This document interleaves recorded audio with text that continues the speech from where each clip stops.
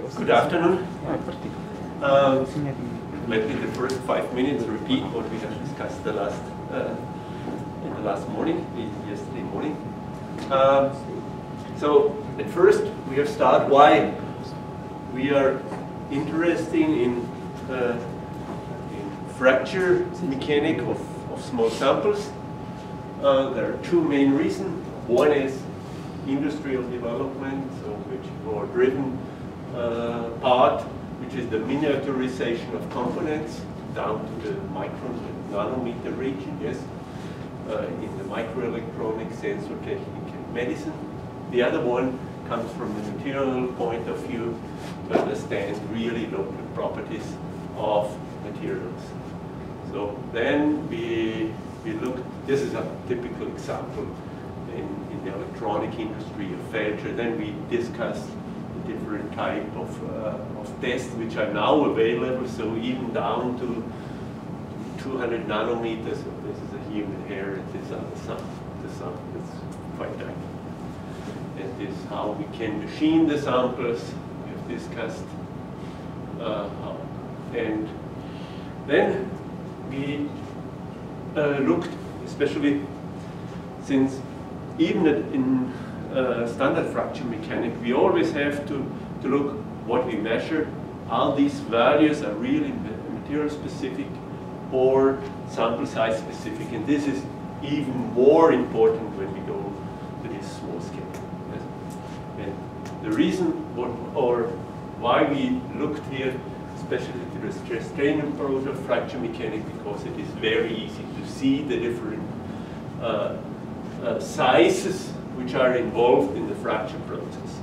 So we have seen, okay, what is important is, is the size of the uh, K-dominated region, yes, uh, if small-scale yielding uh, can be applied, then this size is important in relation always to the size of the fracture um, process zone when uh, small scale yielding is important, then also the size of the plastic zone is important.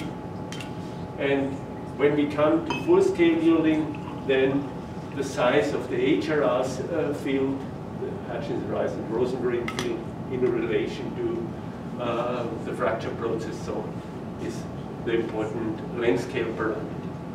In order to obtain uh, size, uh, size independent or size dependent So to see one of the important things is what we have seen is that, for example, the size of the K-dominated region is a certain portion for if the crack length is small compared to all the other dimensions is about one tenth to about two tenths of the crack length. Then the uh, near field uh, solutions are quite good approximation. Okay? So then we said, okay, in principle, when we go to this small dimension, or in principle, we have to do this also in, in macro fracture mechanics, but in especially if we look what we can do, is very helpful to divide, to distinguish between ideal brittle, ductile material, and the semi-brittle.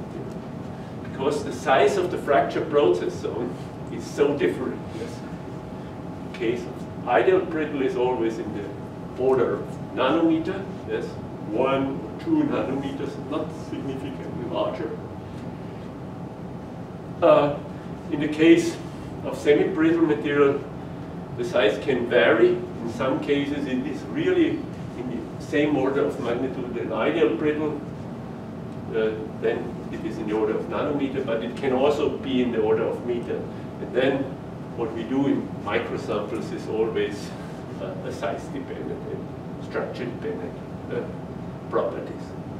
And the case of, in the case of ductile fracture, ductile fracture in terms of, of material science, consideration of ductility that we have a, a formation of pores, and coalescence of the pores. In this case also, the size of the fracture process zone can vary between few nanometers and few hundred microns. That's really large because the, these are three, four orders of magnitudes. Four orders of magnitudes are really large. In some cases, we are here. In some cases, there. Okay, we looked some examples for semi-brittle materials. Then, what we always have, especially in micro, uh, in, uh, when we perform fracture mechanic tests on the micro scale, how large our sample is in relation to uh, the microstructure, uh, the characteristic uh, dimensions of the microstructure and characteristic dimension of the microstructure can be grain size, spacing of uh, precipitation, uh, cell structure in heavily deformed material, and in uh, well recrystallized single crystals of microsamples, semi-brittle case, often dislocations are important and the spacing of the dislocations. Then we look to uh, ideal brittle uh, materials. There are really a lot of ideal brittle materials, or nearly ideal brittle materials, which are used in, um, in specialized functional material in, in different sensor techniques or or electronic devices. So it is important also to know uh, the, the ductility, fracture toughness of these nearly ideal brittle materials or sometimes especially uh, interfaces are also often uh, nearly ideal brittle, yes, especially in this, uh, the, the interfaces between uh, certain functional material and uh, some, uh, some structural support materials. Or when you look, for example, to hard coatings on, on, on hard metals, yes, they are more or less ideal brittle, yes. And to understand the, the damage tolerance of these materials, uh, the size of these coatings are always in the, in the micron dimensions or sometimes only in the nanometer dimension in order to understand the fracture behavior. We can use fracture mechanic, but in order to determine the uh, fracture resistance, uh, in the, the, the, use of fracture mechanic is in this case quite simple. You can use it like in macro, but the determination is, of, is not so easy. There are two main reasons. There is how to generate really an ideal pre-crack in a micron sample. And the other one is, if we really generate such a crack, is this really on the plane where we have the lowest fracture resistance?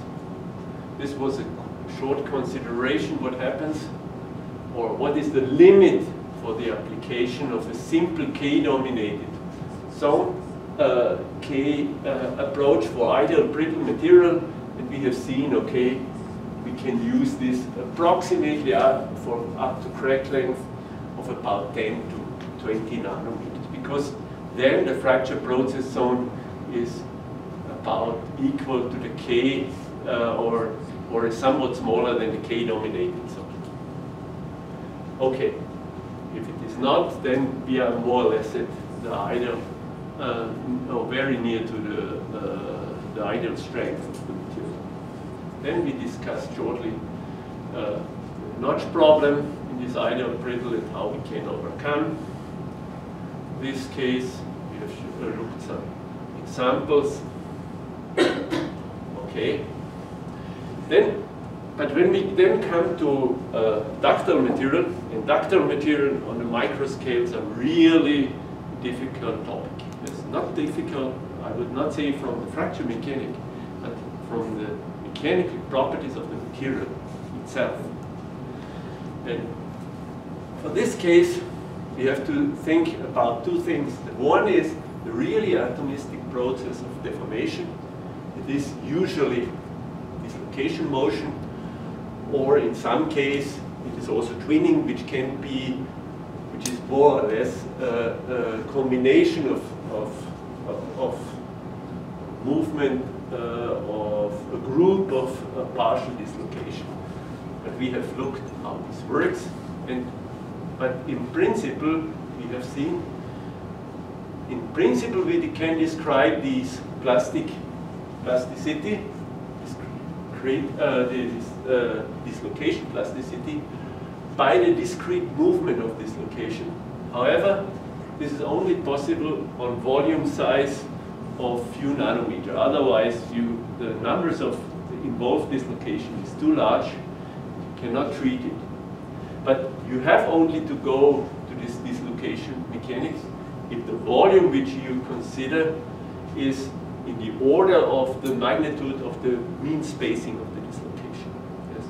If it is larger than the mean space, if the volume which you consider is significantly larger than the mean space of the dislocation, then you can use classical Mises plasticity, maybe with some size dependence, gradient plasticity or something, or, uh, or crystal plasticity, to describe the We have then discussed a bit uh, uh, the dislocation crack tip interaction. What, when we look especially to the nanometer scale, it is important to know that the real stresses in a material are can be really extremely high. Okay, they can be extremely high near the crack tip, and they can be extreme. They are also extremely high near the dislocation. That's simply because these defects have their singularities. Crack tip has their singularity, and even in the case of plastic deformation, we have these singularities We should this have this always take into account because if we have even in microsample, when you deform a material, uh, the, the fracture at the grain boundary or the inclusion do not occur because there is a stress of a few hundred megapascal. The reason for the decohesion is that there are few dislocation there, and this dislocation induces stresses in the order of the theoretical strength which is two orders of magnitude higher, and they causes the decohesion. That's important. But when we go to the, this micron sample size, we sometimes have to take into account this discrete nature of plasticity in order to understand what happened. Okay, then I have shortly discussed how we can treat this uh, discrete dislocation mechanics. Then I give a short introduction to the size effect of plasticity. There are conferences now about this, this, uh, this uh, problem uh, of size effect in plasticity. And, but I have tried to give you a, a short overview that for the, the plastics, the, the strength or, or the, the flow stress of a material become here in terms of hardness simply by indentation can really vary over uh, nearly one order of magnitude when you change the, the size of your volume from a uh, few hundred microns to down to few nanometer. And that's in principle, all these size effects are the tricks which uh, material science use to change the yield stress of our material. We change, for example, the grain size. We change the spacing of inclusions. That's exactly the same problem what we have then when we, our dimensions of our uh, samples or the dimensions of our component come also in the same size region. So there are similarities always between this design of materials and design of components in these dimensions. Okay, then we talk about this, for example, spiller test, tension test. What is, let us go back here, this is an important foil. it shows that there is no unique description for this size effect. There, this size effect depends on many things. For example, if you make a bending test, if you make a, or here the bending test, this is a tension test on a short, uh, or this is a compression test, this is a, uh, tension test. This is a tension test with a, a reduced uh, uh, gauge length. And so it, the, the size effect is very is, is strongly dependent on the constraint of the deformation.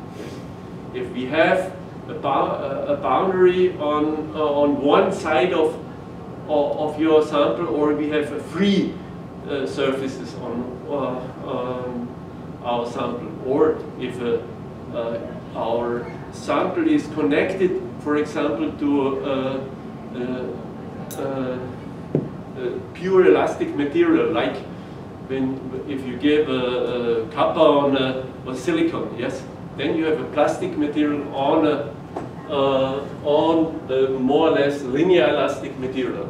And then you have, and if you have on top an additional uh, uh, hard coating, it behaves completely different or to uh, the case where the copper has a free surface.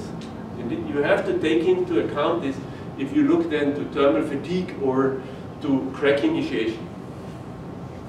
Then we looked how we can do this, and so this is a, when we go to simply uh, understand when the structural side uh, is small compared to the dimension, then our flow stress is size independent. When we come into the region, for example, for the grain size, we can get a, uh, a decrease in strength and when the uh, sample size then becomes smaller, then we get, we get a significant, usually a significant increase in strength. So then we discussed a bit about uh, the, the size effect when we have a, a ductile material. In principle, as long as the uh, uh, the fracture process zone is small compared uh, small compared to uh, the, the sample dimension as long can we expect that we get uh, some uh, really size independent uh, uh, fracture parameters like toughness for crack initiation, like in the classical J delta A curve.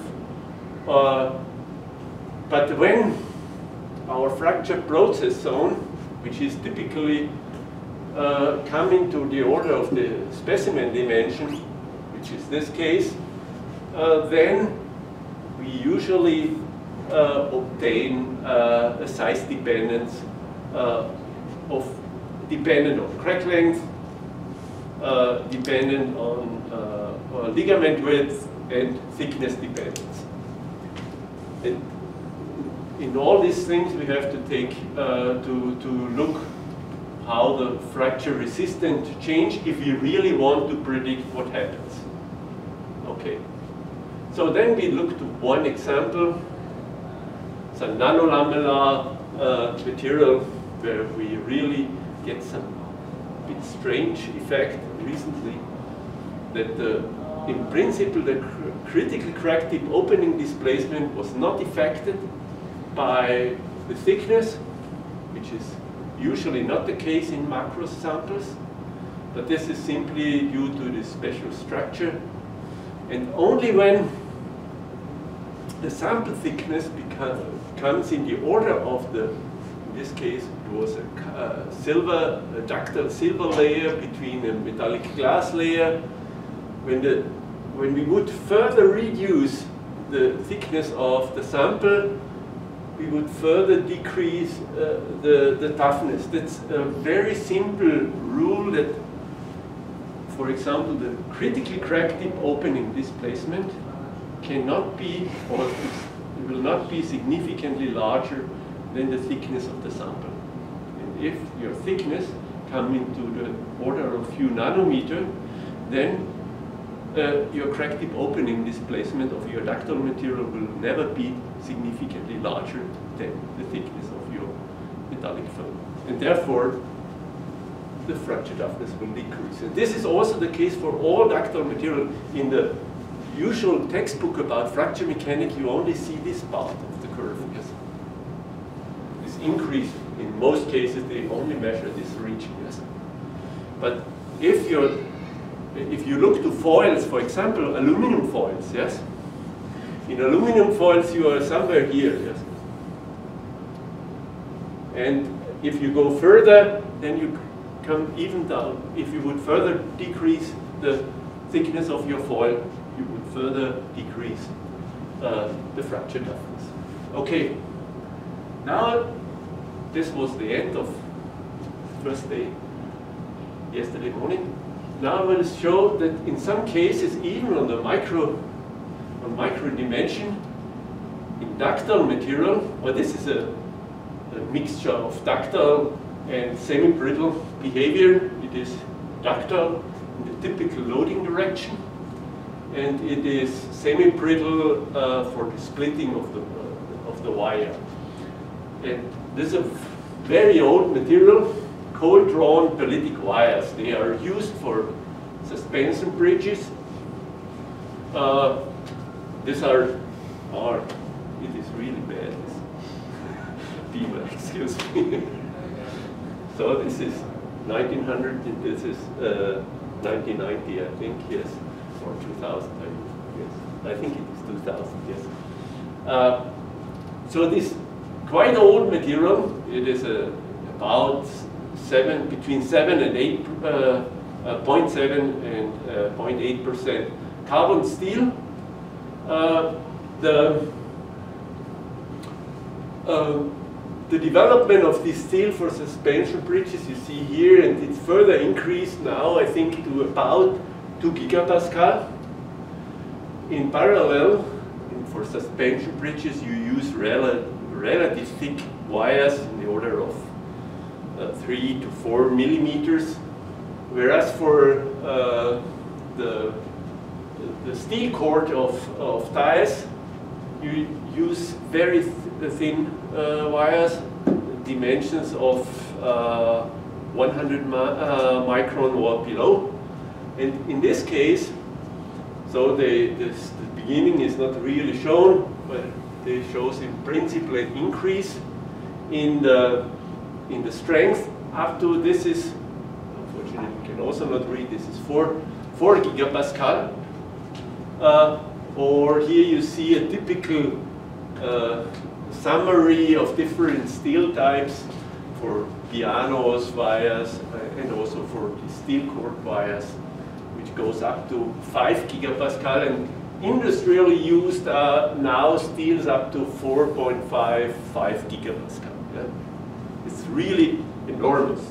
I think you know, it's usually surprisingly not, not known in by most of the material scientists. And we have, or even for in the steel community, it is not so well known. The reason for these uh, uh, enormous increases in this pearlitic steel, you have usually this arrangement of cementite, and in between you have ferrite. The undeformed uh, steel has typical uh, simply uh, perform it from the, uh, or generate the steel bar uh, or the wire from simple heat treatment, from the austenitization, and then slowly cooling down, forming the pearlite. You have this, this spacing is about 200 nanometers, yes? Or 100, between 100 and 200 nanometer spacing between the cementite uh, platelets and in between you have a ferrite. With the deformation, here this, the first one is shown here for about a, a strain of two. This would approximately correspond to yield strengths of 2.8 gigapascal. It's more than all the spring steels you use usually. Yes. uh, then the spacing is about uh, uh, 20 to 30 nanometer. And you further uh, draw this uh, material, during the deformation, you align this microstructure, and then uh, you refine the spacing between the, the cementitides. And then when you go to this very fine, you end up here about with 10, and here below, this is the highest uh, degree, which recently, or about seven, eight years ago, uh, Japanese guys have received, they have a spacing here in between of about uh, 5 to, to 10 nanometer. The largest are 10 nanometers. This has a strength of 7 gigapascal. That's the strongest material you have on Earth, yes. It is a simple steel, yes. And now we have looked what's the reason that we can use such a material. And we can bend it, yes?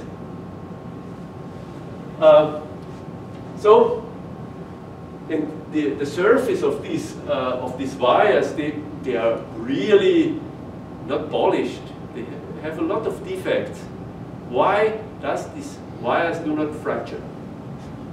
And therefore, we measured fracture toughness.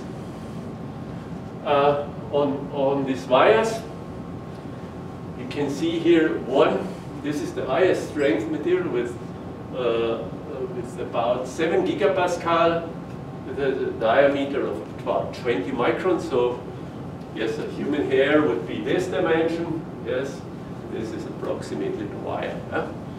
Uh, size of the wire. It's a quarter of, of a human hair. And then, in order to measure also the fracture toughness in this direction, yes, we simply machine here, you can see here, the small lamella, and then on this small lamella, we make a small uh, beam, which has a pre-crack of few, uh, somewhat less than, than one micron. And then we tested this here in bending, and this was quite simple. We make a notch and then a fine uh, pre-crack with, with, a, uh, with a focus beam. Okay? So now let us look to the load displacement curve. And we have done this for, yes, for these two types. This is a, a steel with a strength slightly below 4 gigapascal. It's really high, yes. Uh, if you always take into account a good spring steel has about 2 megapascal, uh, 2, 2 gigapascal, so 2 gigapascal, and this has about 4 gigapascal. And this is the highest strength with nearly 7 gigapascal. So this, so when you now look, okay, so we really get even some plasticity in this re really deep notched sample with a strength which is higher than or similar to a carbon fiber, yes, and uh, even uh, the hard metals only only ultra fine or uh, nearly nanocrystalline hard metals are stronger than than, than these steels. So they are comparable to, to the strength of, of these finer fibers. Here you see a nearly linear elastic behavior. And, but what happens here is that the material do not fracture here along this plane. You get the crack deflection. So the values which we determine here are only lower bounds. The real fracture toughness value for if you would make here some side grooves, they would be even higher. So it is only the fracture toughness for, for this kinked behavior. And here you see a fracture toughness of this 4, uh, 4 gigapascal wire uh, with about 40. This is higher than the fracture toughness of the undeformed material which has a strength of below 1, 1 gigapascal. So what's the reason now for this enormous ductility in this enormous high strength material. And that's quite easy to see what happens. Here you can see the pre-crack. This was the rough pre-crack and this is the very tiny, fine uh, notch at the, the notch root of this large notch. What happens is we get the delamination because let us look, maybe go back. This is such an extreme fine lamellar structure and the, the crack is grown in, in, in this plant for in this case. So and what we get is a delamination of these uh, of, the, of the microstructure. So you can see, and then we get the more or less ductile behavior of the, the region in between. You can see this here and also here. Uh, delamination and especially a very strong crack deflection. Uh, if you don't measure really the load displacement and would calculate the stress intensity factor, and you have no way to measure the load, if you have a ductile material, a very simple way to measure the fracture uh, toughness is to measure the crack tip opening displacement. Yes, we have in our institute a special technique where we simply uh, determine the the 3D structure of the of the fracture surface of exactly opposite regions. This is exactly the opposite region. If you look here, this is the fracture surface. This was the pre-crack. This is the, the fracture surface, and this is exactly. You put this on this side, you would see this. Uh, uh, this is exactly the opposite side from this. And then one can simply uh, determine by stereo images the 3D shape along a line, or you can also try to put the whole 3D model together in the computer, but we usually do it only on the line. And then you can see, okay, what happened here is we had at first a blunting, then we had some pore formation, and then we had further to decrease. And if we calculate from this crack tip open displacement, the fracture toughness value, we come to a fracture toughness of, of about 40, which is very similar what we obtain from uh, the uh, load displacement curve. And this is really a lower bound for always for the, because this was necessary before the first extension of few nanometer takes place. okay, so in this case, the wire has 20 microns about. So the crack tip opening displacement is really smaller than the wire diameter.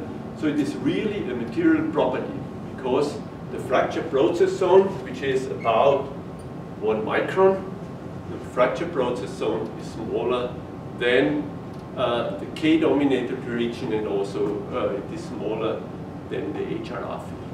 So it is really useful to use this. So, uh, but then we also looked to uh, the fracture toughness value for the splitting of the wire. You have seen this. Okay, we have made this bending experiment. You see this here, the next part. And in this case, the fracture toughness is really quite low. What we usually would expect for such a high strength material. It's only five, about five gigapascal here for the four, uh, uh, five uh, megapascal times square root of meter, and here we have about four uh, megapascal times square, square root of meter for this seven gigapascal wire. And the reason is quite clear. We have a more or less semi-brittle fracture along the extreme aligned lamella, which have a thickness of, yes, in this case, the lamellas have a thickness of uh, few nanometer, yes, few between 5 and 10, and in this case, between 15 and 20 nanometers. So we have here a semi-brittle fracture process with a fracture process zone in the order again of, of some in the order of microns. Uh, so the measured fracture toughness values are again really material specific values. In this case of a semi-brittle, in the other case of a ductile. So this was the ductile region, this is the semi-brittle. Even in the, this micro region. Uh, we have also looked, this is only, the same microstructure can you also generate not only by wire drawing, but also by rolling. But with rolling, the lamellas are arranged nearly perfectly in a plane. And then, when you arrange it perfectly in a plane, you see here this very tiny lamellas, yes, again, is uh, about 20 nanometer thick, and the strength of this material is about four, somewhat less than four, four gigapascal. You see again, nearly no blunting, only this semi-brittle fracture behavior with about 4 megapascal times square root of meter. And in the wire, where you have this, this rough fracture surface with about 5 so, so what, uh, to, in order to see how are these materials are in relation to all our other materials, usually have, here, this is the stress intensity, the critical stress intensity factor, the, thread, uh, the, the fracture toughness value, as a function of the yield stress for different class of materials. These are typical aluminum alloys, these are titanium alloys, uh, uh, these, uh, these are high strength, these are only high strength steels, yes, uh, typically for really extreme high strength application. Uh, and uh, what you clearly see when you increase the strength, you get usually a decrease in fracture toughness. If you look here for the other steels, which we have, uh, the, the typical steels, they are more laying in this area. Some of them really come above 150 megapascal times square root of meter. So when we now plot all the, these standard materials, then delay this blue area. And these pearlitic wire, they opens a complete new area. So in this field. And the why do this? They do this is a very simple is a very simple explanation for this behavior. Uh, because it, it, it, lives mainly from the anisotropy of uh, the fracture toughness. In a plane strain case, you know, we have already discussed this, the stress in front of the crack, this uh, volume element very near to the crack tip in the plastic zone, is about three times the yield stress, if you take a hardening, it can go up to about three to four times the, uh, the yield stress of the material. Uh, if you have a material which has a strength of one third of the theoretical strength, and you would have this three times higher increase in front of the yield stress, you would overcome the theoretical strength, so it must fracture. Yes? You cannot get an isotropic material with a strength equal to uh, or, or larger than one third of the theoretical strength simply from this consideration. But when we have this delamination, then we transfer the plane strain situation in front of the crack to a plane stress situation. And this reduces the maximum stress from three times the yield stress to the yield stress. And that's the reason why we could really generate such a good in this high strength. So if we now summarize, we now summarize what we have seen. Uh, for ductile material, the usual structural material like typical aluminum alloys which are used uh, for in the airplane industry, so high, uh, high strength aluminum alloys, they have typical crack tip opening displacement in the order of 20 microns. If you look to uh, high performance steels, then they have typical order of 10 to 100 micron. Only the very soft materials have then also crack tip opening displacement of uh, significant larger than 100 micron, maybe half a millimeter or a millimeter. And if you have really uh, sufficient size of your sample, in the case of a 100 micron, you need several centimeter thick uh, samples, you get typically these behavior inductor material. And, but when you produce samples, even from this material, with dimensions in the order of microns, then the fracture toughness can really fall down. They can fall down uh, significantly below the fracture toughness of uh, the plane strain case. So even if you are in the plane stress case, you will not reach the fracture toughness value of the plane strain case due to the limitation in the deformation in front of the crack because sample size is thinner than the crack tip opening displacement in plane strain. Okay, the semi-brittle, in semi-brittle material we have in principle always a kind of brittle uh, uh, decohesion, simply uh, separation of the atoms. In ductile material we have simply a forming process. Yes. We have pores, the grows by a forming process, crack blunts by a forming process, and finally the neck uh, fracture is not really breaking of, of atom, it is simply in ductile material forming process. But in, in brittle material is really a, a breaking of atomic bonds. And in semi-brittle we have also this, this process of breaking of atomic bonds, but, oh, we have also plasticity involved in this process. And some, this can be dislocation motion, twinning, and sometimes we have also a significant amount of breaching. We have this seen in the example what I have shown for uh, titanium aluminum. So this part deliver additional uh, or requires additional energy for crack propagation. And this part can be, especially in the in micro dimension, size dependent.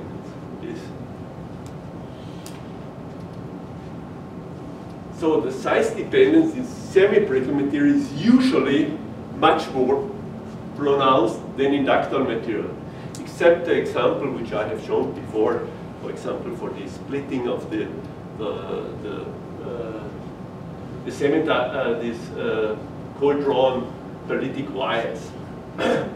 so uh, what we always have to take also into account is uh, the structure, the structural dimension when we go to the micro to microsamples.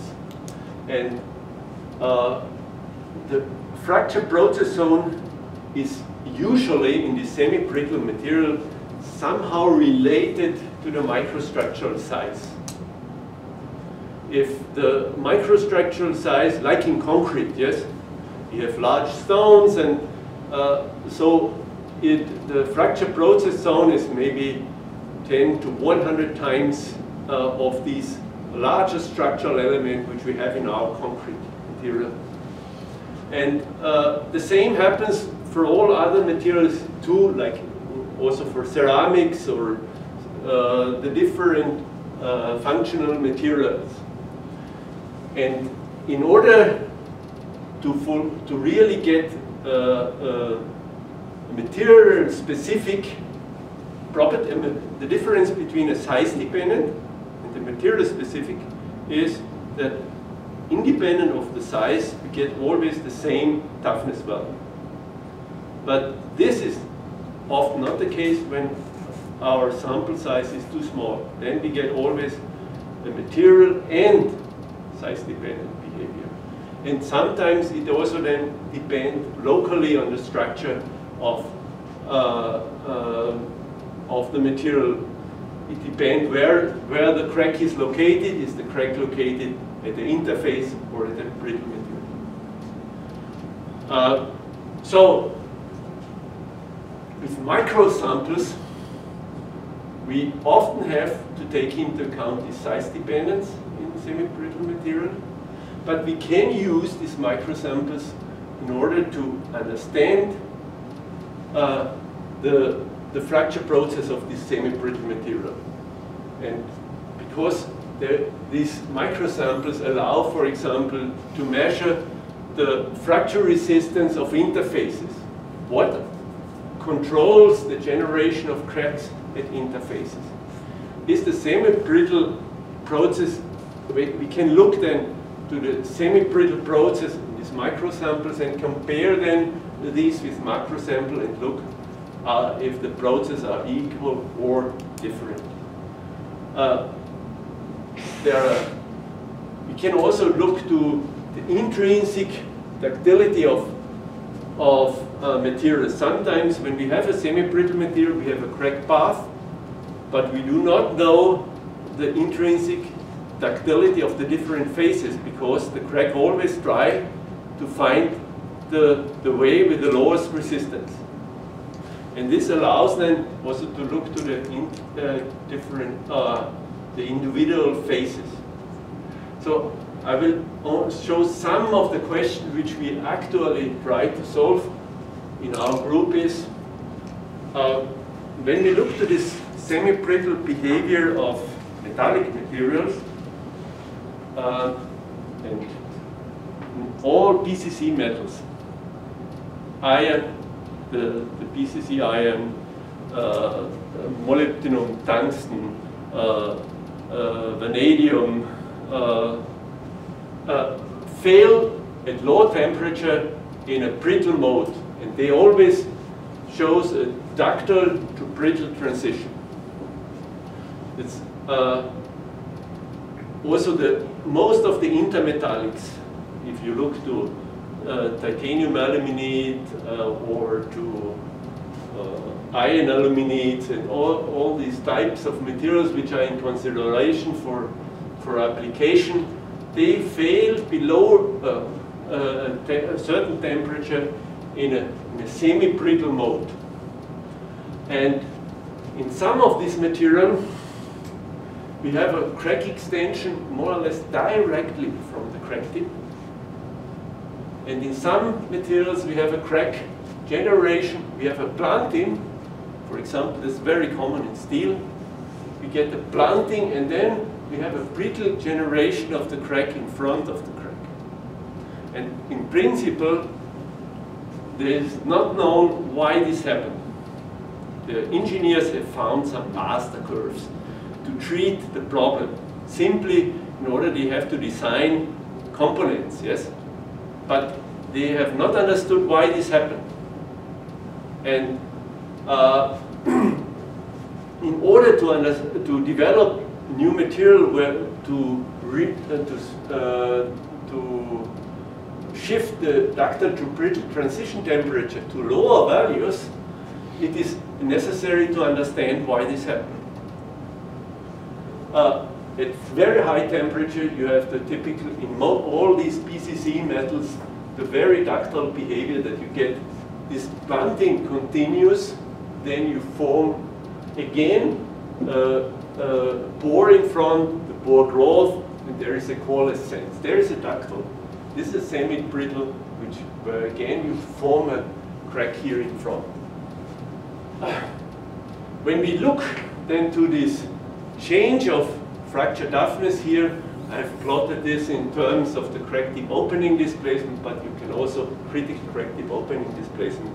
You can also plot this in terms of of tough, uh, fracture toughness K1C. Then we often, in these BCC metals, we have often such a behavior that the critical tip opening displacement slightly increase and then continuously go to a higher value and then we are in the upper, uh, in the uh, in the upper shelf region. This is the lower shelf region. On the contrary, there are some materials which shows, for example, silicon is such an uh, example where you have nearly ideal brittle behavior up to 400 degrees of five, four, 500 degrees centigrade. And then it jumps to quite high values. In reality, this high values is not really ideal brittle. It is very often also a semi-brittle process, but you have really a really uh, jump function of the Krepken. In order to understand this behavior, these small sample techniques are very helpful. Since in the semi-brittle case, you always have some plasticity, and then it is very helpful, these micro samples because you can change the stress field. I will see that you will see this in the next few uh, figures in, uh, in, the next few uh, slides, maybe more in detail. Uh, what you also sometimes in the material, especially in intermetallics, you have not only the generation of, uh, of dislocation, you have also some collective uh, emission of, of partial dislocation as a special type It's not a full dislocation. But this can make then a twinning of the, of the crystal. This is a typical example. And how this twinning effect, but why this twinning stops at a certain uh, uh, loading and then the crack uh, propagate is in principle not known till now. So now I want to show, I've seen, tried to show before some mechanism what happens during the semi-brittle process. Now we'll try to show what can we do with these microsamples.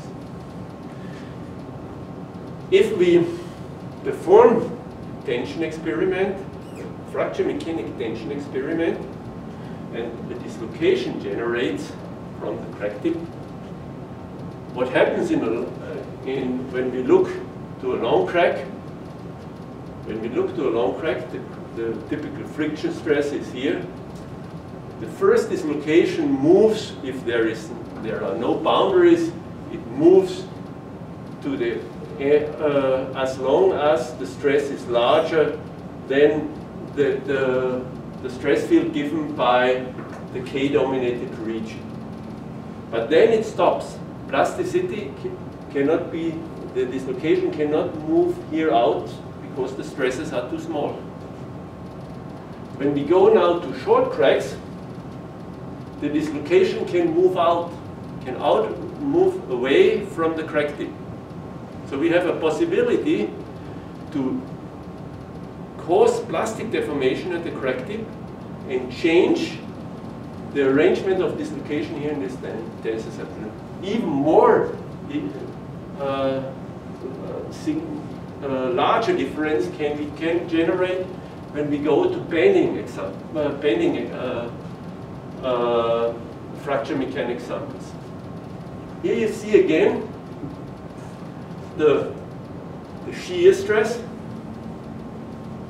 in a in a thicker bending sample, and this is the shear stress here in a thinner tension sample.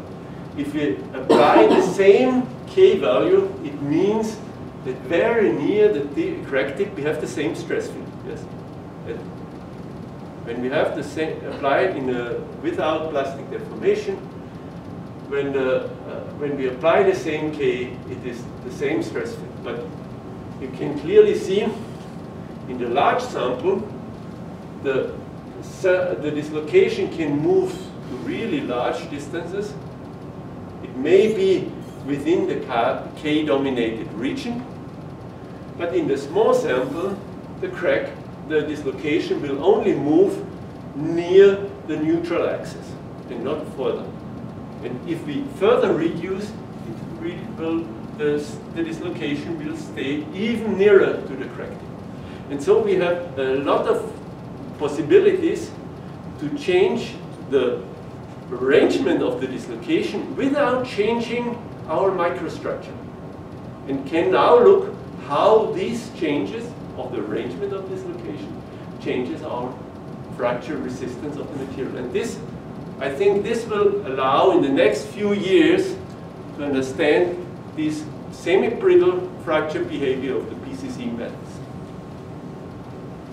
So here is again this comparison of this bending sample where you have this change of the of the shear stress at the neutral axis in front of the sample and where you have the limitation or where you can limit your plastic deformation to extreme small region.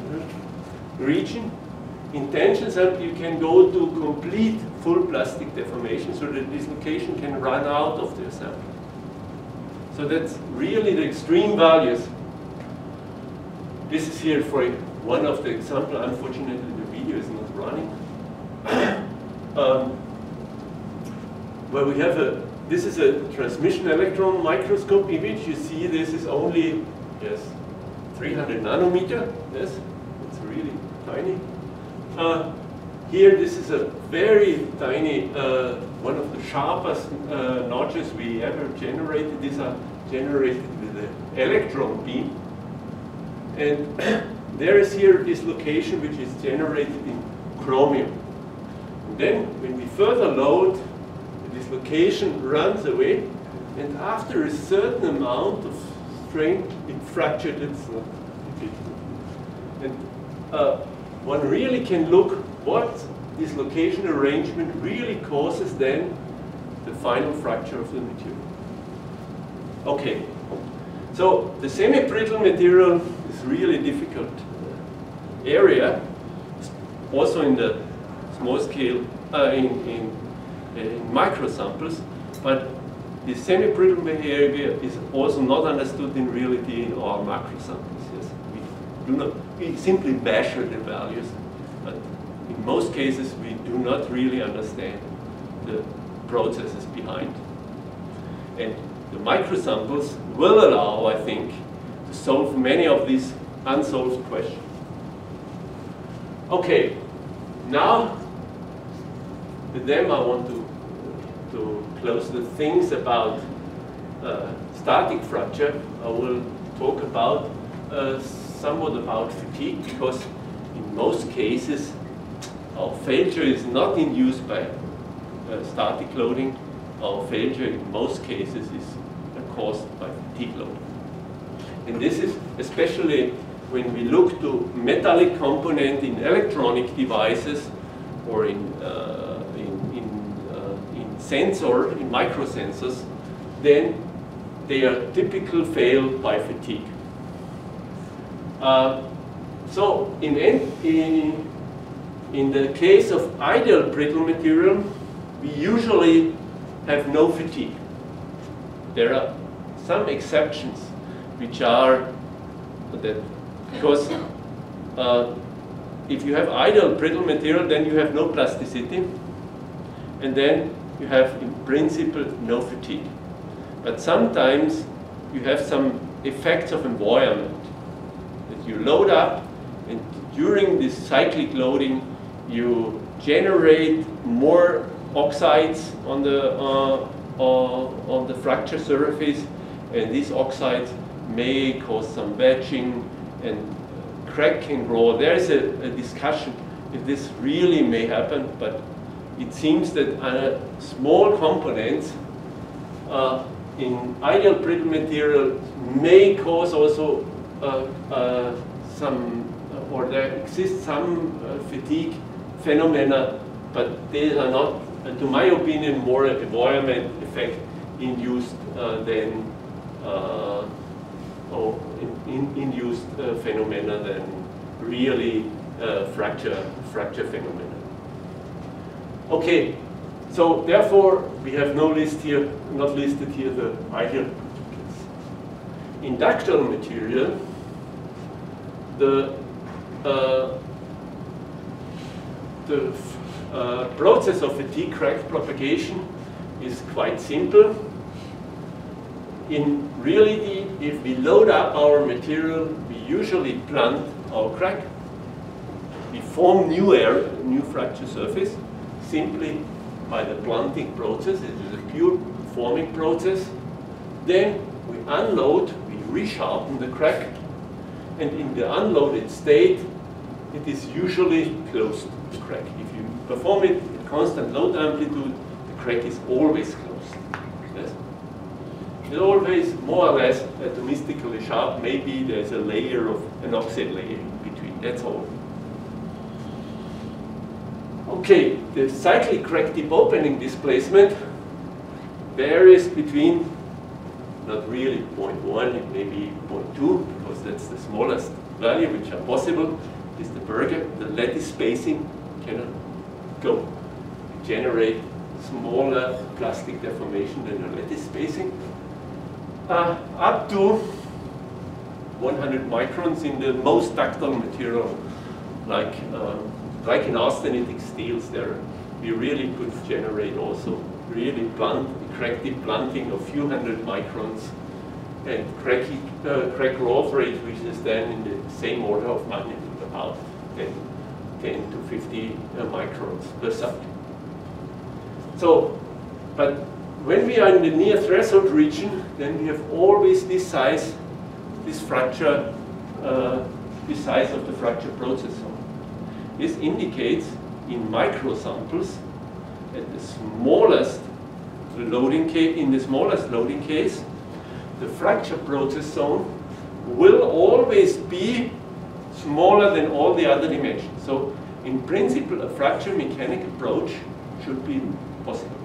Maybe the only problem is that how the description of the plasticity in this, in this area, because what should we use as, uh, as the flow stress of the material, or uh, the, uh, what are the, uh, uh, the limits for the movement of the dislocations. But nevertheless, so for if we have microsamples, it, we can never generate such high uh, uh, cyclic opening displacement because this is larger than uh, our sample. So we are usually only can see the T-crack propagation, which are small compared to uh, the, the, or crack tip opening displacement, which are small compared to the dimension of your sample. Uh, or otherwise, one have always an extreme size dependence. In, in thin films, this may be sometimes possible. I may look, maybe I have at the end a picture of. And the other one is a semi-brittle. And the semi-brittle fracture process in fatigue can be again very similar to the ductile one, but it can be, the fracture process zone can be extremely large.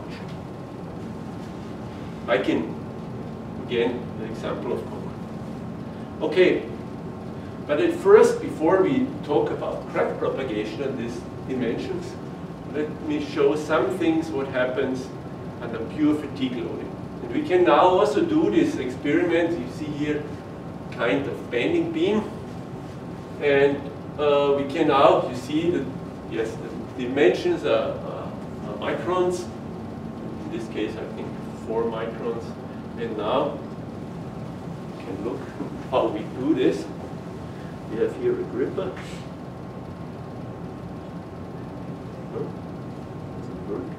Yes. So you simply bend it forth back. And you can really look what happens there now. You can look to the generation of, of surface steps, you can look to the uh, formation of, of structures and so on. Okay, so what happens? This is typical behavior, what we see in these micro, uh, micro beams. In principle, very similar if we look to the fatigue behavior on the, uh, on the micro scale. If you look in the scanning electron microscope, uh, on the grain scale, to uh, what happens on the surface, you form some, uh, some surface steps, uh, and these are quite similar what we know also from macro experiments. The only difference, what you clearly can see, this occurs here only in this highly stressed region. And you clearly can see the dislocations which are generated here, they do not move above, uh, below the, the neutral axis. Yes, they cannot move below. So they are piled up and when, so we have a cyclic deformation here in this area and the, the surface damage or surface roughness, it is not really crack. In the early state, it is only a roughening of the surface, which is more or less the same in micro samples as in uh, macro samples. Uh, here you can see there is also no, not really a significant difference or, or significant effect of the of the sample size. This is, for example, a, was a 8 micron thick uh, beam, and this is a 2 micron thick beam. The Pleit, yes, the Pleit strain is here some some the cyclic plastic surface strain was the same in both, uh, both cases. The only here is somewhat larger, but you can also see that the roughening is significantly larger here in the, uh, due to the larger numbers of cycles. Uh, interesting, you may know what happens in, in, in, in copper, for example, a typical fatigue loading. In fatigue loading, uh, we form this, the dislocation from cell structures Yes, what you see here, for example. And this also happened in the near surface region of these 8 microns uh, samples. The cell, the, it's not really visible, this, the size of these cells are in the order of somewhat less than 1 micron. So do you have about 3 cells in, in the near surface region, which are developed. Uh, in the uh, smaller samples, no cells, are generated because the size is simply too small to form these dislocation cells.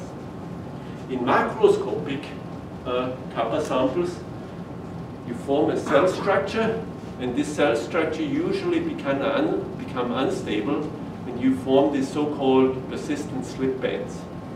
And you get usually the crack initiation in copper on these persistent slip bands. Also in nickel, you have also this, this phenomenon.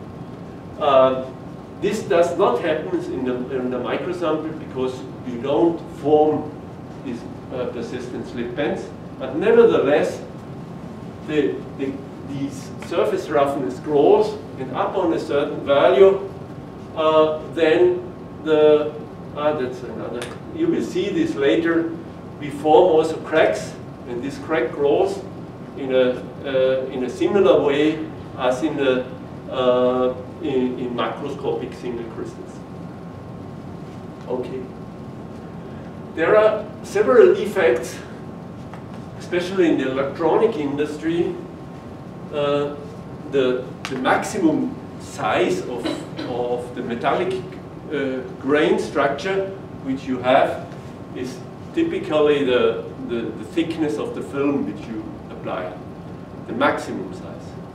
But for, in order to increase the strength of the material, they often try to reduce the grain size furthermore because you know with decreasing grain size yield stress increases and therefore you can the strain is given simply often by the thermal strains from the the, the heating up of the electronic device, uh, devices during the operation.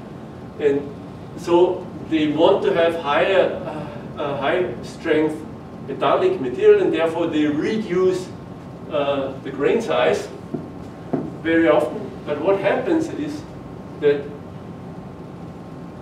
when you cyclic these very fine grains, you also change the grain structure the grain growth during this cyclic uh, loading and softens during the cyclic loading. You, and this is also very simple to do this, for example, on such material. This is a single crystal, but if you do this on a nanocrystalline or ultra-fine grained material, you can simply look in the scanning electron mic microscope how the individual grain grows. You can then look what are what recipe you can uh, apply to avoid this growing of the grains. And here you have see one typical example. This is a grain, a crack which is grown in a grain in a, in a nanocrystalline material, and then this crack grows principle in, in this ultrafine grain predominantly along uh, the grain boundary, but with the same mechanism as a typical long crack. So, um, what are now the driving forces for crack propagation for such extreme small cracks? If someone works in the field of fatigue, uh, there are large uh, or a vast amount of studies related to the so-called short crack effects. The short crack effects mean, or it has been introduced by, or in the, the mid-70s, they have found if they look to cracks in, in uh, uh, typical fatigue samples that the, the crack growth rate in these samples is higher than the crack growth rate which we determine on standard uh, fracture mechanics samples with long cracks. And there was a really big discussion in the, the 80s and 90s. And even today, there are not really a, a complete agreement in the, in the fatigue community. But uh, to my opinion, if you divide the different types of short cracks, then it is uh, more or less uh, uh, understandable um, if we simply look, if we divide the different mechanisms which affect fatigue crack propagation, and there are two things. One is what happens really at the crack tip during the loading, and what are the, the separation uh, process during this loading uh, process. These are called the intrinsic uh, fatigue mechanism. And then we have different mechanisms like the fracture surface contact, the crack deflection, which changed also the driving force at the crack tip, or especially the, the, the fracture surface contact uh, uh, also affect the driving force if the during the only half of the load amplitude the crack is open, this crack grows uh, slow, uh, slower than if the crack is open during the whole amplitude. That's quite simple. And if we take this into account, then I think the description is, uh, is uh, of short cracks becomes more uniform. And I will show you what happens here.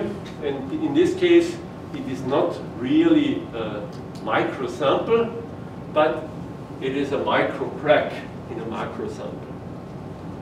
Again, this was one of the first experiments which we have done in uh, studying the short crack effect on a low cycle fatigue experiment. This is a typical macro sample with one times one or two times two millimeter, uh, no, one times one millimeter dimension. Then we have a notch, a notch with the dimensions of about 10 to 20 microns. Different samples, in this case this is 10 microns.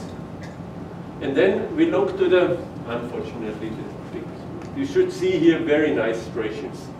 I think you will see this then on these uh, foils which you will, will get. Uh, and we have really uh, nice fatigue crack propagation here. And here since we have done this also in the scanning electron microscope at extreme high cycle, uh, uh, low cycle fatigue uh, strains. So we have applied strains here of about uh, a cyclic plastic strain of uh, that's say it wrong. It is even the very small thing here is better to see. Uh, the two micro these are, are, are two uh, 2% plastic strain, so strain amplitude of uh, yes, somewhat more than, than 4. And here the scale is about 2 microns. So you see this is at maximum load.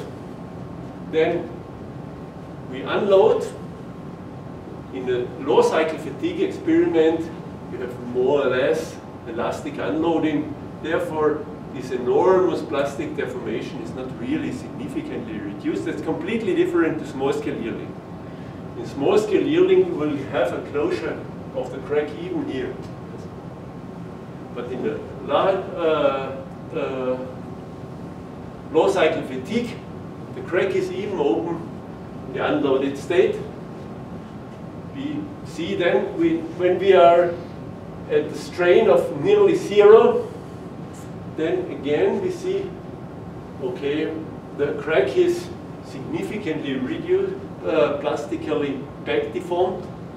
And here, at the stage C, the crack is really closed. You see this also remain closed during this area. Crack is closed during this uh, loading state. And then, if we load further, it remains closed up about to the, uh, um, uh, the zero load. And then the crack starts to open and blunting occur uh, again. And what you clearly see, oh, that's clearly cannot see, can only clearly see on, this computer. Here, this is, there's a small marker. This marker is now here. And the crack advanced is exactly this dimension, this distance. It is about one quarter of the crack tip opening displacement. And that's very characteristic for really very ductile material. Uh, so this was said before. If we now look to this intrinsic process, the intrinsic process is simply this blunting process and resharpening process. And we do not look here to this part. If we plot now this crack tip opening displacement, which is identical since the crack is always closed at the minimum load, yes, even in this low cycle fatigue experiment, yes, in constant amplitude loading, constant strain amplitude loading. It's not the case in variable amplitude loading. because quite easy to understand. If you would change the load, the loading direction here to, uh, or if you yes change the loading direction here, the crack will not be closed, and in the next sample, if you go here to this uh, uh, strain amplitude, it will close again. So but constant amplitude, this is always closed. Or what is important is if we look here to the crack tip opening displacement, which is more or less the cyclic, is identical with the cyclic crack tip opening displacement. Here, for different crack lengths, and here the crack growth rate.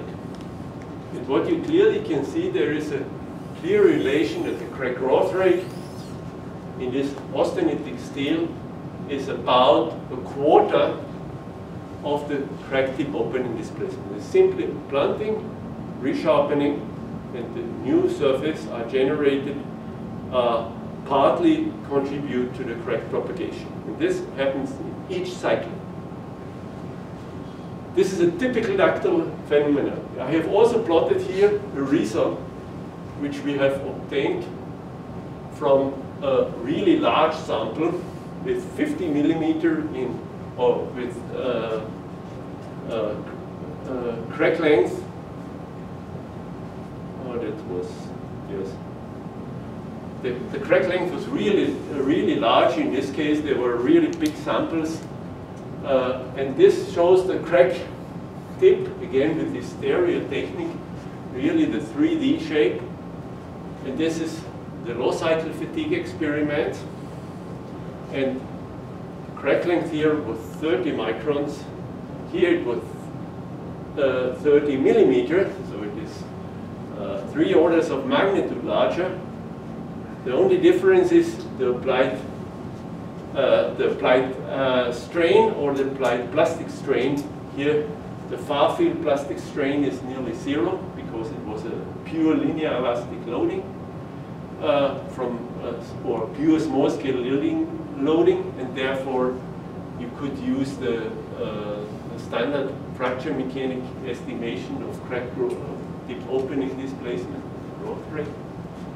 And uh, it is not so surprising that but uh, these uh, are in good agreement. Uh, but what you clearly see at the same crack, cyclic crack tip opening displacement, the crack growth rate is exactly the same. So that's independent of, uh, of the size of, uh, of the crack and also independent of the dimensions of your sample. And this should also hold down to the micron scale. Yes, we see this here. So the other part, this extrinsic mechanism, this closure phenomena, which are really taken, takes place, for example, in, in this case, the, the closure value, the, the crack closes in this case at about 25% of the maximum load amplitude. In this case, in all these cases, the crack closes far in the compressible region. Completely different, but the crack growth rate is solely controlled by the cyclic crack tip opening displacement. And the same can be also transferred to micro uh, uh, dimensions, yes.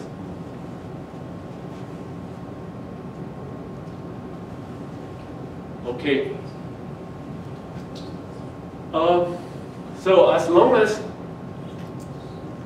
as a consequence of, of this analysis, as long as the crack length and the ligament width and the sample thickness is more than 20 times the crack tip opening displacement, there should this relation between crack growth rate and delta CTOD should be more or less size independent.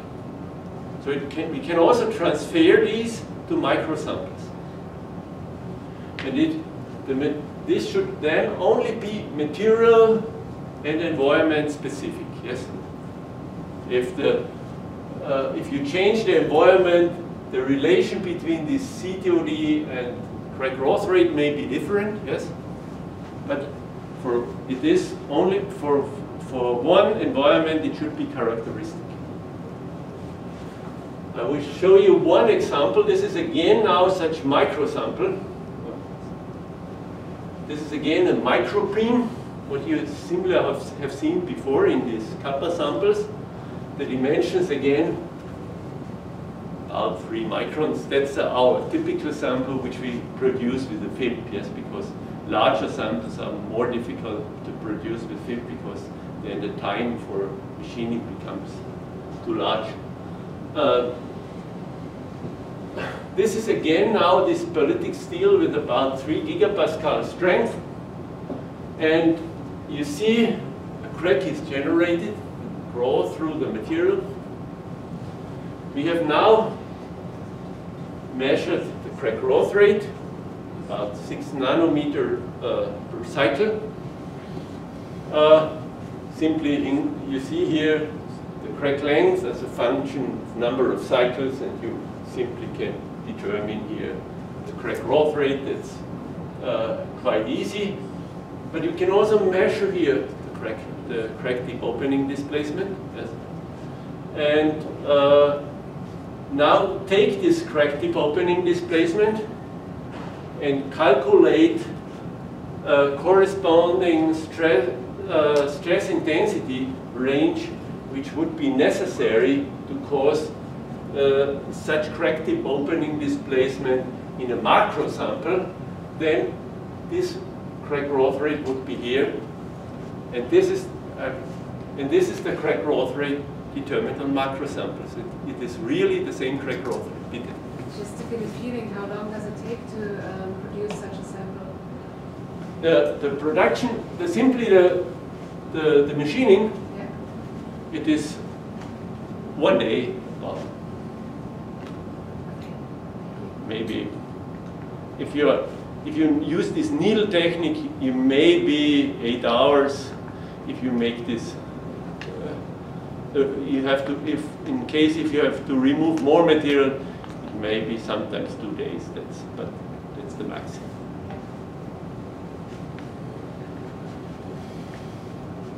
Okay, so but it is it clearly shows that in terms of crack tip opening displacement, the fatigue crack growth rate, as long, uh, as long as this relation is approximately fulfilled, uh, can be described by simple standard fracture mechanic tool. The only problem what we have usually when we do uh, when we look to fatigue crack propagation in uh, Uh, uh, to fatigue crack propagation under low, low cycle fatigue condition is that we use the J integral. And in the J, the, the relation between the J integral and the crack tip opening displacement is simply coupled with the yield stress. And when the yield stress of the material becomes size dependent, then we, can, we are, have some, some problem with the recalculation of the data. In this case, in this case it was quite easy. We have this nano lamellar structure and we have no size dependence of plasticity in this case because the microstructural size is significantly smaller than our dimension and therefore we have no size effect.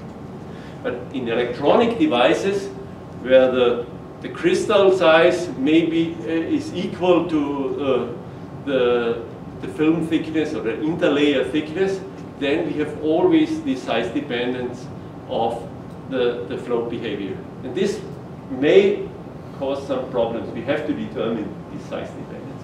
But then we can again use our classical rules between COD and J. Oh, so then this is what I want to say about the fatigue behavior. Now let me come to another thing which is also related to the uh, the strength of material or the strength uh, controlling uh, features of material. It is the intrinsic strength and intrinsic ductility of materials. Um, I will show you here first an example. This is uh, ultra-fine grain uh, nickel. Unfortunately, you cannot see. This is one micron. Uh, this is uh, the, the grain. The colors correspond to, to different grains, the different colors. Give also uh, the orientation of the grains. That's not so important. And here you see, this is now a millimeter. Yes. And what you should see here is in the detail you can approximately see. It is a typical ductile fracture behavior, and that's very often the case in, in nearly all of our uh, ductile materials that we see this dimple structure. And this is even a relative high purity grain uh, nickel. Nevertheless, you see that we here have some uh, some larger dimples, and these larger dimples you find some tiny inclusions. And the question is now, is the ductility now mainly determined by these tiny inclusions, or you see also here some very small dimples. These dimples are generated, these are related to the size of the, of the grain. And these dimples are mainly, they develop simply intrinsically in the material since uh, uh, yes, on the grain boundary or the triple junctions, on some of these triple junctions, pores develops and grows. Now the question is, are these uh, inclusions control uh, the uh, ductility or the, the, the intrinsic grain size controls. So this was the one millimeter sample which you have seen before, the, the ductile fracture surface with these large inclusions. And, but you have seen these large inclusions. Uh, this, this is one micron. So if we would generate a sample with only two or three microns, then the probability to find the inclusion inside would be zero. That's exactly what we have done here. you see, this is the macro experiment. This is a, yes, typical stress strain curve of this type of material. This is a simple necking process of this material. You have seen this strong necking phenomena, and then it fractured. Cup of cone, cup and cone. When we look now the micro sample, where we, we have not these inclusions, where we have only the, the crystal structure, we have again about 10 grains over the thickness. So it is really homogeneous. But we have no inclusions inside. So what we get is we get nearly like a single crystal behavior, complete necking to zero dimension. That's also for other, uh, this is now for different grain sizes. Another example I want to show here are the fracture of, uh, of hard metals. Principally, you can do this also for ceramic, which is also size dependent. The fracture strength. And the same is also true for, for hard metals. Uh, despite that they, they are uh, metal binders and a mixture of uh, ductile and uh, so uh, semi-brittle behavior in principle. So what we have done is we have measured the ductility, the strength and ductility of different sample sizes. And what you see here, this is the largest samples, and you see the volume of the sample of the tested uh, material. Uh, and in this, this is about 10 millimeter, uh, 8 or 9 millimeter diameter and the length of 9 millimeter. So the volume is 10 to the 12 cubic microns, and the smallest sample has few cubic microns. Is that this sample? So that's really huge. If you simply want, if you you really want to reflect what happens in, in this material, you have to machine 10 to the 12th of these, these samples in order to get really the same result. okay, and then here are some samples in between, and now you can look what happens. Uh, so the fracture strain of the largest sample is only somewhat more than 2000 uh, 2 gigapascal. Yes.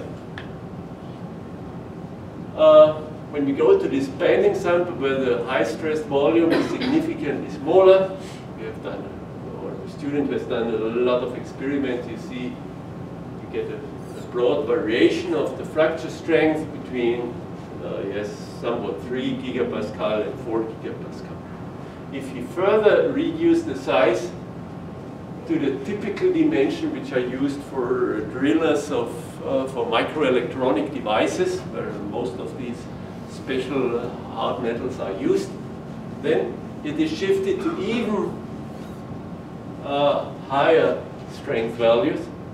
And when we go, we have here tested several of them.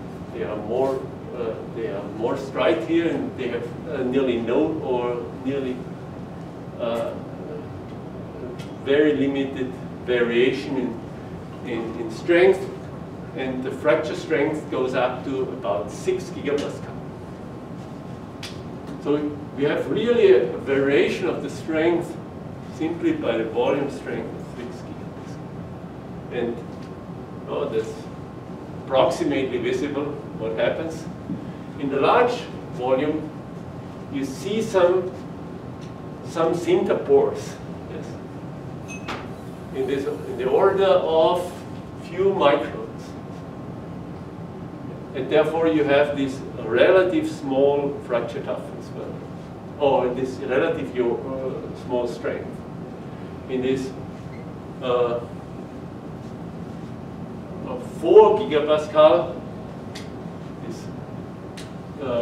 drilling uh, uh, like samples, size, sam size samples, we have a, a, small defects, typically in the order of 500 uh, nanometer to maximum one micron. Yes, see here from different samples where the crack starts.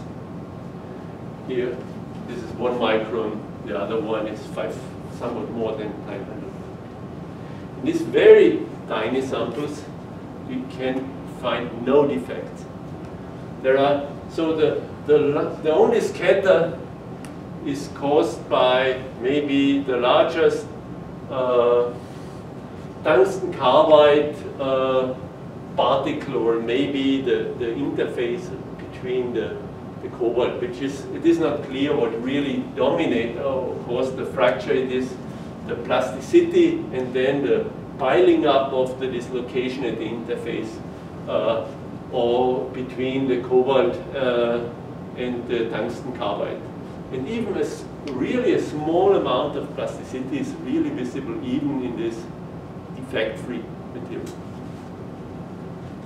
So now I make, we make a, a break of 10 minutes and then we continue. We come to the last point. It is the fracture mechanics of thin film and layer.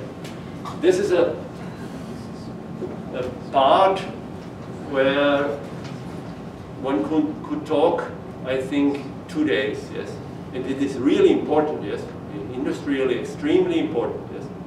Because mm, you, there are so many components which failed, uh, but there, this problem is much more difficult than what we have discussed before. But for the pure physical consideration of the, of the problems, we have to do the same classification. Is it the ideal brittle, semi-brittle failure, or ductile failure? That's the reason why I have introduced used a small uh, introduction to this area.